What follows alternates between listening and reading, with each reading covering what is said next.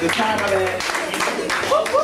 Eyes on the keys. We got Marvin on the keys and the trumpet. We got Clarence on the bass. We got EJ on the bass and my beautiful drums beat down.